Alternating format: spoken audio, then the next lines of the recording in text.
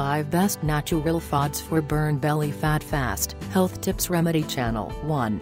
Cut back on calories. The most important part of losing weight is not working out until you collapse, it's your diet. If you burn 500 to 750 more calories than what you eat every day, you will lose 1 to 2 pounds every week, any more than that is considered unsafe weight loss. There are tons of little changes you can make to cut calories from your diet, from replacing high-calorie dressings with vinaigrette and asking for all dressings, sauces served on the side, eating at the table instead of in front of the TV, skipping cheese and other fatty additions to your salads and meals, using smaller plates, leave off the whipped cream on your coffee drink, and on and on, too. Eat more protein. Protein is required by the body to repair damaged cells and plays a vital role in growth and development. 4 but it can also play a role in weight loss. Diets high in protein tend to make people feel fuller, and when paired with a reduction in carbohydrate intake these diets can help with weight loss.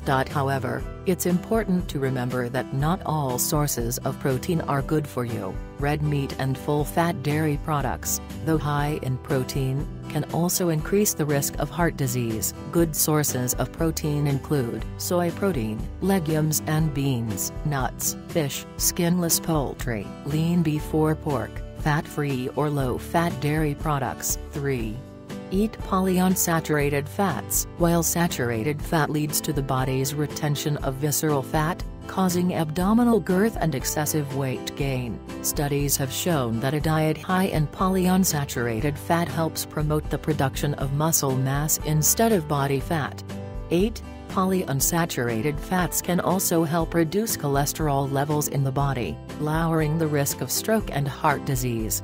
9. Sources of polyunsaturated fats include olive oil, soybean oil, corn oil, sunflower oil, salmon, mackerel, herring, trout, walnuts, sunflower seeds, tofu, soybean. 4.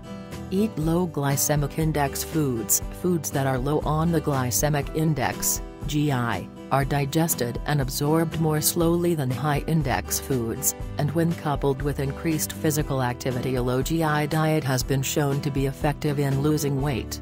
11. Foods that are low on the glycemic index include beans and lentils, apples, apricots, bananas, carrots, corn, mango, oranges, certain types of pasta. 5.